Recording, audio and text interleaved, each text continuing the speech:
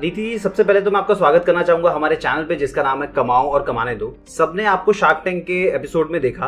बहुत ही गंदा फ़ैशन है ये। मेरे को लगता है आप बंद कर दो। आप मम्मी के साथ बैठ के एक लहंगा बेच लोगे दो लाख का बिक जाएगा। आप क्यों अपना टाइम वेस्ट कर रहे हो?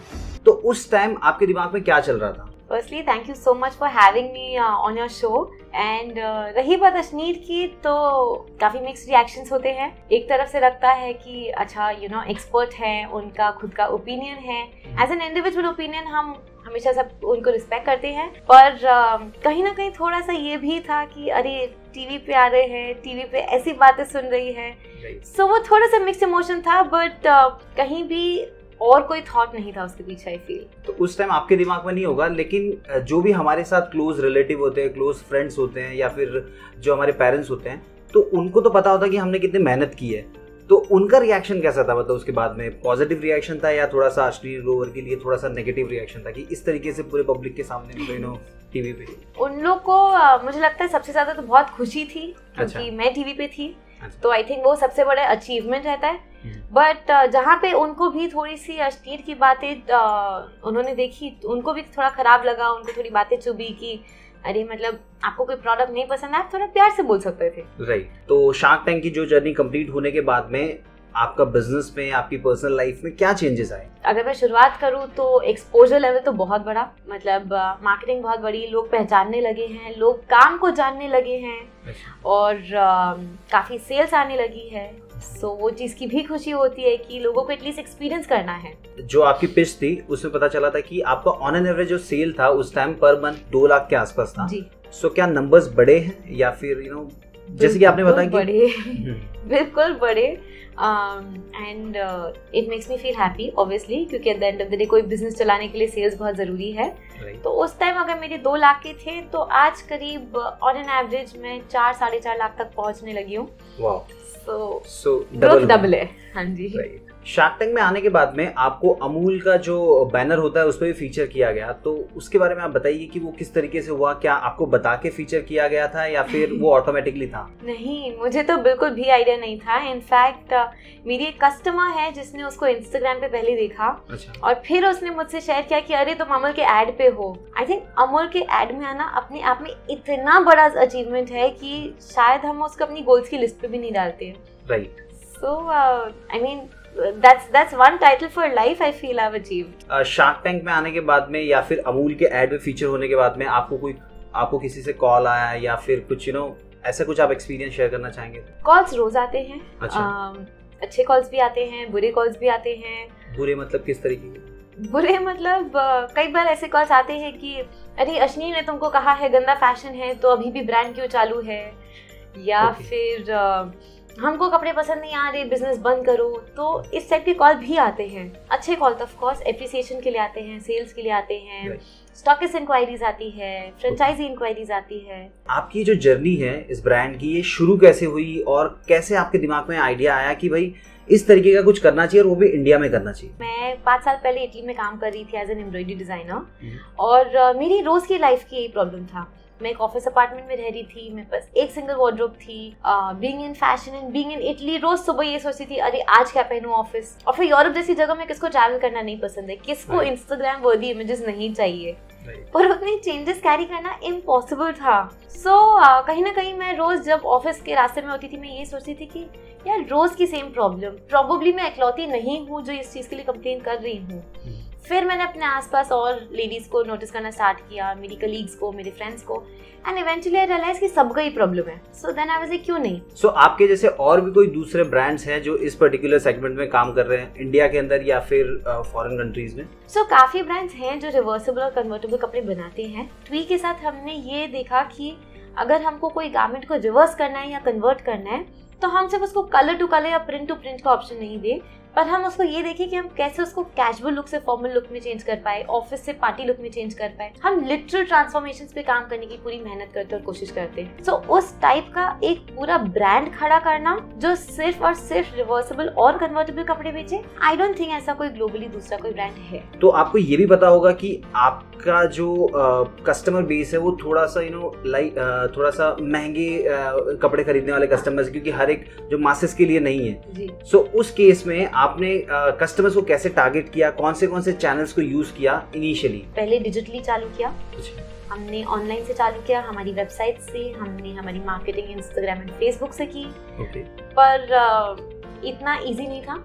Okay. जितना लोग समझते हैं कि हाँ हाँ वेबसाइट पे कपड़े बेचना शुरू करो और ब्रांड चल जाता है। राइट क्योंकि हमारे कपड़े देख के लोगों ने हमको ये भी कहा कि अरे अरे ऐसे कपड़े तो बनते ही नहीं है ये तो फ्रॉड है। सो so, हमको तब रियलाइज़ हुआ कि हम हमको उनको वीडियो कॉल करना पड़ी हमको उनको ऑफलाइन पॉपअप इवेंट्स पे दिखाना पड़ी। किसी तरीके से हम उन तक पहुँचे और उनको हमारी गारमेंट्स फिजिकली दिखा पाए जो उनको बिलीव हो कि हाँ ऐसे कपड़े बनते हैं। आप न्यूयॉर्क फ़ैशन वीक में भी आपके डिज़ाइन को दिखाया गया था। सो ये जो था ये शार्क टैंक से पहले था या शार्क टैंक के बाद था? ये कोविड से जिस पहले की बात है। अच्छा शार्क टैंक से पहले की बात जी शार्क टैंक तो अभी आया। हमने ये चीज़ हमने न्यूयॉर्क फ़ैशन वीक किया था सितंबर 2019 में। So New York fashion week एक कंप्लीट अलग दुनिया है क्योंकि न्यूयॉर्क एक फ़ैशन कैपिटल है। हम्म। और जब फ़ैशन कैपिटल्स में फ़ैशन वीक्स होते हैं तो वो अपना ही एक अलग अपनी ही एक अलग फ़ैशन दुनिया होती है वहाँ की क्योंकि वो डिफरेंट ट्रेंड्स पे चलती है वो डिफरेंट सोच पे चलती है उस पॉइंट ऑफ़ टाइम पे।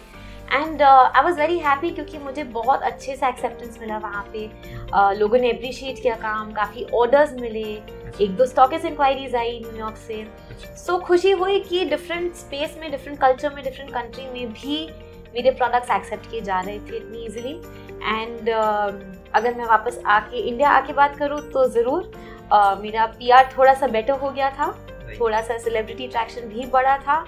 लेकिन आई थिंक उसके बाद कोविड आ गया तो everything went for a downfall जिस तरीके का रिस्पांस आपको मिला अश्लील ग्रोवर की तरफ़ से शार्क टैंक के अंदर तो जो आपके रेगुलर कस्टमर्स थे उनका क्या रिएक्शन था? उनको तो बुरा लगा होगा शायद कि उन्होंने भी आपके कपड़े खरीदे और उसके बाद में आपके कपड़ों को इतना बुरा बताया गया। तो कुछ ऐसा अगर आप हमारे साथ शेयर करना चाहें तो। सो कस्टमर्स को बुरा इस बात का लगा कि अरे कपड़ा एक्सपीरियंस नहीं किया तो फिर क्यों बात की? वो हमसे आके पूछे ना हम आपके कपड़े पहनते हैं.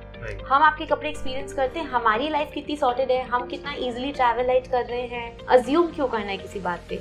सो so, उस बात की लेकिन मुझे खुशी थी क्योंकि अगर आपका कस्टमर आपके टूअर्स इतना फेथफुल हो रहा है यू जस्ट हैप्पी कि आप जेनुअनली सिर्फ़ फ़ैशन नहीं बेच रहे लेकिन एक सोल्यूशन बेच रहे। और आप थोड़ा हमें शार्क टैंक की जर्नी के बारे में बताइए। आपको कैसे पता चला? फिर आप वहाँ पे गए तो कैसा एक्सपीरियंस था? कैसे सारी चीज़ें हुई? मुझे उनके बारे में एक्चुअली पता चला था उनके न्यूज़पेपर एड से। और उस एड पे भी मेरी नज़र इसलिए पड़ी क्योंकि कुछ साल पहले मैंने शार्क टैंक अमेरिका के बारे में पता किया था क्योंकि वो हमेशा से मेरी विश लिस्ट पे था। अच्छा। बट शार्क टैंक अमेरिका में जाने के लिए आपको यूएस सिटीजन होना ज़रूरी है। So I couldn't get through but जब इंडिया में आए नथिंग लाइक इट इससे बेटर तो कोई अपॉर्चुनिटी हो ही नहीं सकती है। सो बिल्कुल एप्लीकेशन फॉर्म भरा, उसके आगे के जितने उनके प्रोसीजर्स थे, वो सारे फॉलो किए ऑडिशंस थे, वो फॉलो किए। Somehow manage to get through पाँच छः महीने की जर्नी थी पर बहुत ही ब्यूटीफुल थी। काफ़ी कुछ सीखने को मिला। पर शार्क टैंक में जाने के बाद ये सीख मिली है कि अगर आप एक ऑन्टरप्रिनर हो आपको आपके बिज़नेस के हर number by heart automatically learn होने चाहिए right. आपको वो याद करने वाली सिचुएशन में नहीं आना चाहिए okay. और ये मेरी सबसे बड़ी सीख थी शार्क टैंक की कि कल को अगर मैं कोई इन्वेस्टर के सामने जाके खड़ी हूँ तो मुझे ये नहीं बोलना पड़ेगा कि सीए को फ़ोन करो और मैं आपसे ये भी जानना चाहूँगा कि शार्क टैंक में आने से पहले आपने फंडिंग के लिए कहीं और भी ट्राई किया था? आ, नहीं मैंने फंडिंग के लिए नहीं अप्लाई किया था। ऐसा नहीं है फंडिंग की ज़रूरत नहीं है। छोटे बिजनेसेस को और स्पेशली फ़ैशन में तो आपको हमेशा फंड्स की ज़रूरत पड़ती है। लेकिन at that point of time मेरा uh, मतलब कोविड से जिस पहले तक की जर्नी जितनी थी दो तीन साल की मैं उसमें ये भी मार्केट में टेस्ट करी थी कि कितना किस किस स्केल तक के बढ़ना चाहिए मेरा ब्रांड या कितना बड़ा फंडिंग के लिए मुझे किस लेवल तक के जाना चाहिए। अच्छा। तो वो सारी मेरी जर्नी समझने की ऑलरेडी चालू थी बट कोविड के अनफॉर्चुनेटली डेढ़ साल में हमने एक भी पीस सेल नहीं किया। एक भी पीस नहीं। हमारे तो फिर आपने पास सरवाइव कैसे किया? तो बिकॉज़ यू नो अगर आप बिज़नेस रन कर रहे हैं तो जो। आपके साथ काम कर रहे हैं उनको तो आपको सैलरी तो पे करनी है इलेक्ट्रिसिटी बिल पे करना है रेंट भी पे करना ही है। सो so, अगर सेल्स ही नहीं है तो फिर आप कैसे सरवाइव करवाए उस उस तो ये बात आपने बिल्कुल सही कही और मैं आपको सच बोलूँ तो अ, मेरा फ़र्स्ट डे जिस दिन लॉकडाउन चालू हुआ मेरा फ़र्स्ट कंडीशन मेरी ये थी चाहे जो हो जाए मेरी टीम में से एक भी इंसान को फायर नहीं किया जाएगा। क्योंकि जिस दिन मुझे उनकी ज़रूरत थी जब मेरे फ़ैशन वीक्स थे तब रात रात भर उन्होंने बैठ के मेरे साथ काम किया है। So it is very unfair on my part कि आज अगर कोविड आया लॉकडाउन आया तो बिना काम के मैं उनको फायर कर दूँ। क्योंकि उनके पास भी एक फैमिली है टू सपोर्ट तो हमने जितना दो तीन साल में सेव किया था कमाया था ब्रांड से वो सारा मैंने अपनी पूरी टीम को सपोर्ट करने में लगाया।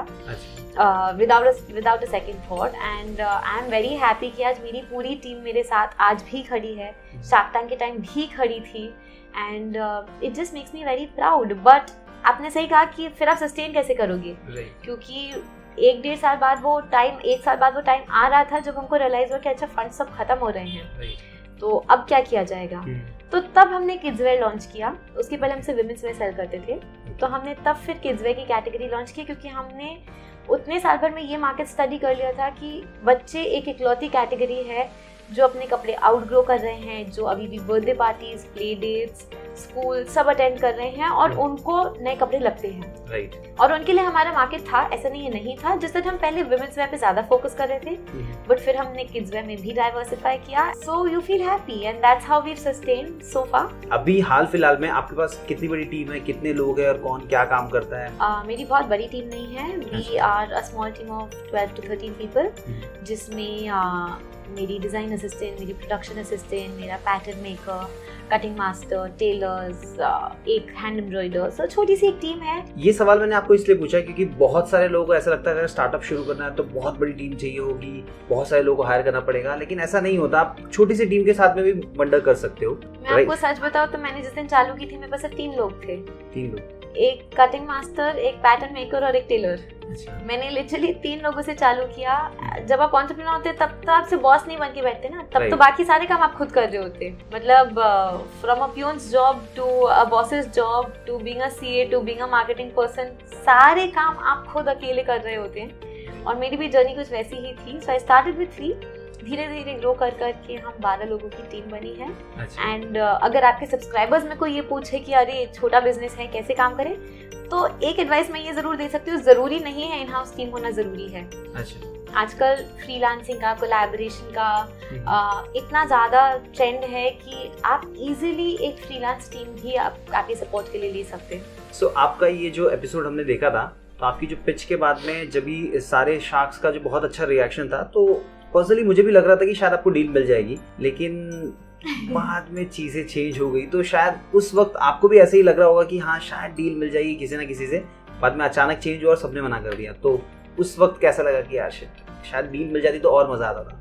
आप सही कह रहे हैं कि जब वो फ़र्स्ट फ़र्स्ट रिएक्शन जब मिलता है तब तो बहुत एक्साइटमेंट थी हमें से करें हाँ हाँ everything's going great you know बहुत मतलब जैसा आपने कहा कि हम्म। और सातों तो शाक बैठे हो तो ऐसा लगता है अच्छा सात में से एक या दो तो कुछ इंटरेस्ट दिखाएँगे ही। पर uh, कहीं ना कहीं थोड़ी सी डिसअपॉइंटमेंट थी हम्म। लेकिन फिर ऑन द सेकेंड थॉट ये भी लग रहा था कि हम जानते हैं कि फ़ैशन एक नंबर गेम भी खेलता है। फ़ैशन का बिज़नेस इट्स ऑलवेज मेंट की ठीक है मास है बल्क में है हम्म। काफ़ी नंबर्स जितने छोटे हों उतना ज़्यादा प्रॉफिट कमाओ that's how people look it it पर uh, मेरे ब्रांड के साथ अनफॉर्चुनेटली मैं नंबर गेम नहीं खेलती हूँ तो वो एक सबसे सबसे बड़ा रीज़न था।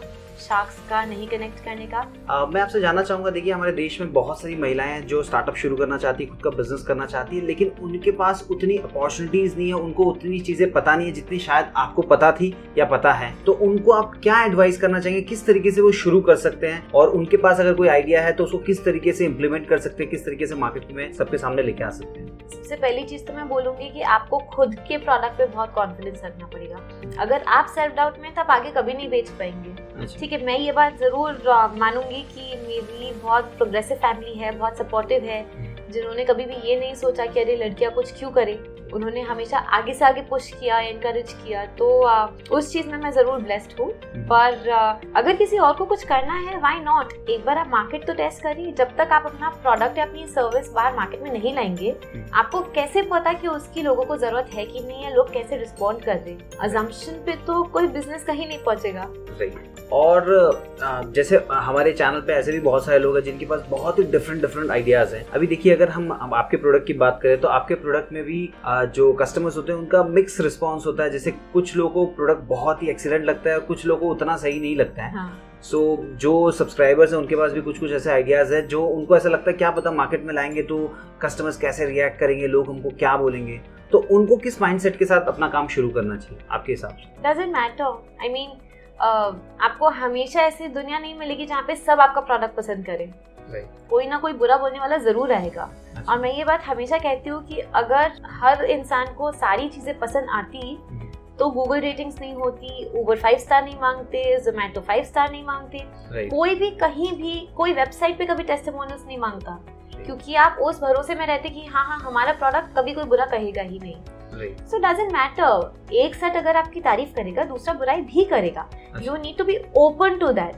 ज़रूरी नहीं है कि अगर कोई बुरा कह दे और अगर कोई कहे अरे आपका फ़ैशन खराब है तो आप बंद कर दो। हम्म। नहीं अगर आपको लग रहा है आप सही हो आप कुछ सीख लो उससे कि अच्छा प्रोबेबली ये चीज़ है जो मैं ज़्यादा थोड़ा वर्क करके चेंज कर सकती हूँ। पर डरना किस बात से? Okay okay. सो so, आपका ये कहना है कि काम शुरू कीजिए जो भी आइडिया है उसको जल्दी से जल्दी मार्केट में लेके आइए इम्प्लीमेंट कीजिए आपको सक्सेस ज़रूर मिलेगी। Niti ji thank you so much आपका कीमती समय देने के लिए Thank और thank हमारे सारे सब्सक्राइबर्स को शार्क टैंक की जर्नी के बारे में बताने के लिए आपके बिज़नेस के बारे में बताने के लिए thank you so much thank you so much thank you